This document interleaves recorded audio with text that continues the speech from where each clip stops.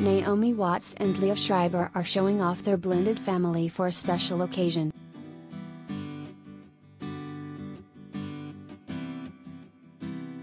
On Wednesday, Watts, 53, shared an Instagram snap of herself posing with her boyfriend Billy Crudup, 53, alongside Schreiber and his girlfriend Taylor Neisen, 30, as they celebrated the graduation of Watts and Schreiber's child, Kai, 13. The ex's 15 year old son Sasha was also featured in the family photo.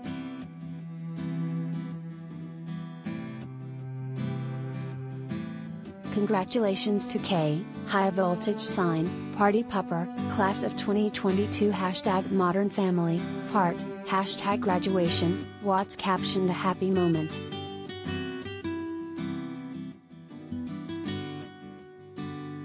Keeping his message simple with a, congratulations. Schreiber, 54, posted a photo of Watts posing with Kai as the two held flowers. He also shared a sweet photo of Kai holding up their graduation certificate.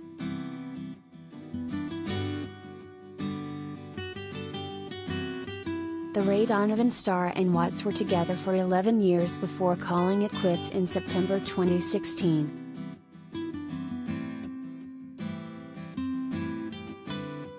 Over a year later, Schreiber opened up about the breakup while on Sunday Today with Willie Geist saying that his relationship with Watts has continued to remain amicable.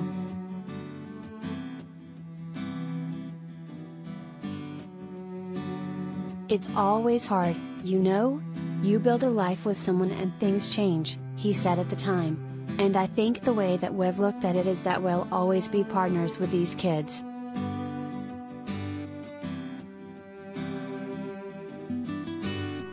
He added that his friendship with Watts will always be a priority as they co parent two children.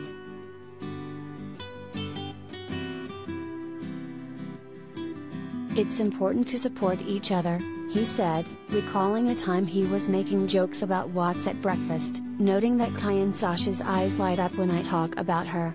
You can see how important it is to them that their parents care about each other.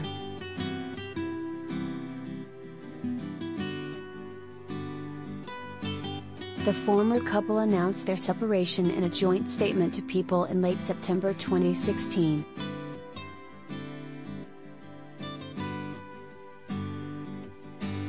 We're parents together so we'll be together for the rest of our lives no matter what and we're very close, Schreiber previously said. Hopefully, that never changes and I don't think it will.